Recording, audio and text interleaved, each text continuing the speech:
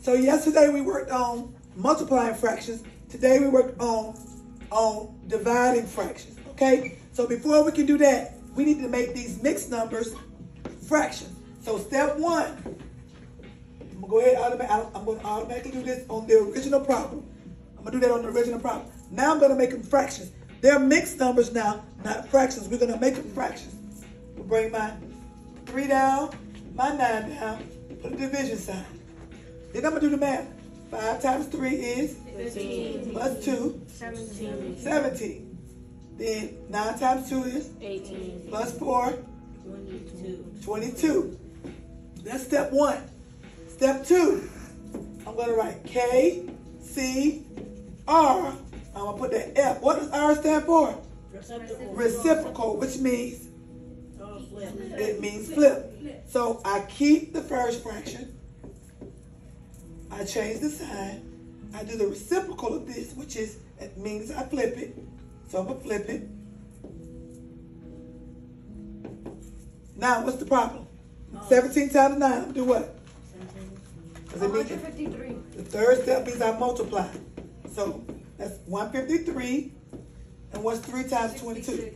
60, 66. So I multiplied it and I got this.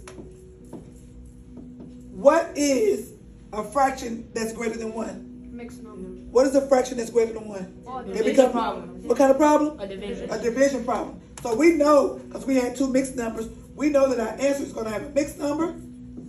We're going to bring out, we're going to bring this, um, and I forgot to do this. Make sure y'all connect them. And we're going to bring our uh, denominator over.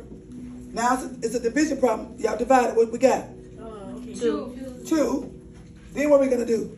Multiply it. by Multiply 2 times 66. What is that? Got a calculator. 132. So I'm going to subtract that. One, 153 minus 132 is, got a calculator, 21. 21. 21. So here we have 2 and 21 over 66. But I need to reduce that. So what number can I divide both of these by? 3. 3. How do you know? Because Because 3 times, Seven is 21, and then 3 times 22. 22. 22. 22. And then Okay. 3 times 22 equals. okay, so here we go. So that's our GCM. So we have 2 and this is what?